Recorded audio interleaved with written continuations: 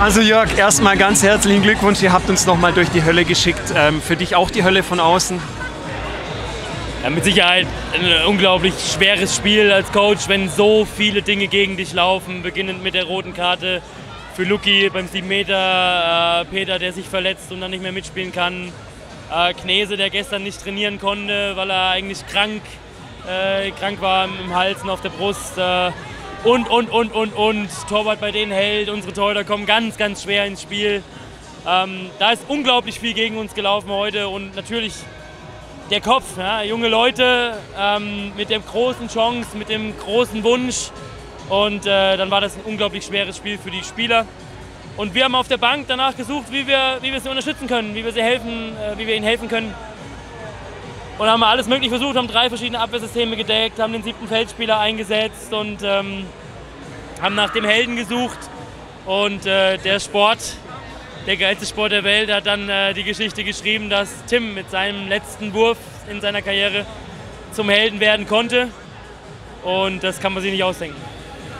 Was war denn dieser Funken, der euch angezündet hat? Waren es diese, diese Wand, die 20 Minuten vor Ende gestanden ist und nicht mehr hinsetzen wollte.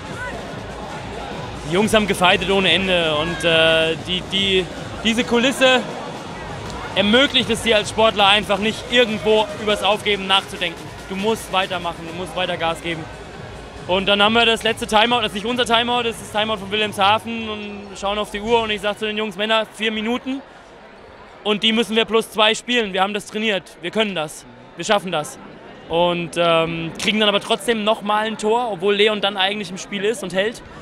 Ähm, und brauchen dann, glaube ich, drei Tore in 90 Sekunden, ich weiß es nicht mehr genau. Ähm, und dann ist es so gelaufen, wie es gelaufen ist. Das haben wir alle gesehen. Und äh, das ist natürlich dann am Ende auch glücklich. Deswegen bin ich da auch so empathisch mit, mit meinem Trainerkollegen äh, mitzu, mitzuleiden weil sie natürlich ein Wahnsinnsspiel gemacht haben. Hier die erste Mannschaft überhaupt, die einzige Mannschaft in dieser Saison, die in Konstanz ein, ein Spiel gewinnen kann. Ähm, oder überhaupt ja, nicht mal jemand unentschieden gespielt hier. Also es ist wirklich eine fantastische Leistung von Wilhelmshaven. Und trotzdem über beide Spiele hinweg mit diesem Fight, äh, mit den Lösungen, die wir dann aber auch finden, defensiv, offensiv äh, und mit der gesamten Saisonleistung überhaupt nur drei Spiele zu verlieren in, äh, in einer ganzen Saison, ist der Aufstieg für die Jungs mehr als verdient und ich bin brutal stolz auf jeden Einzelnen.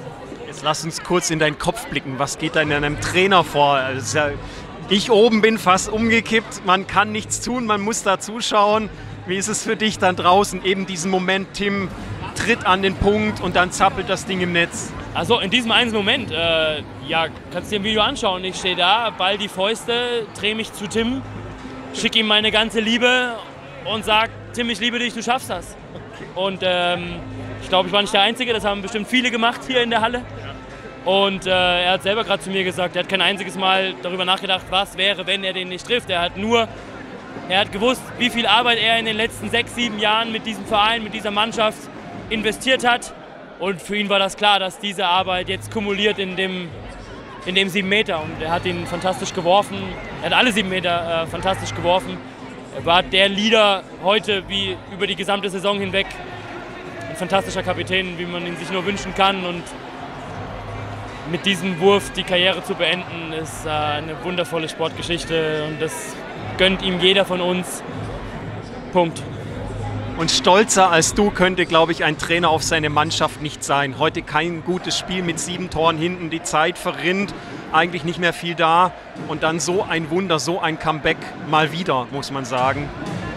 Aber das ist, das ist Team und das, sind, das ist auch das ist der Umgang, den ich schon ein paar Mal erwähnt habe im Saisonverlauf. Das, das sind Menschen, das sind junge Menschen und natürlich spielen die mit ihren Emotionen und mit dem Kopf und, und denken nach und wir versuchen sie darauf vorzubereiten.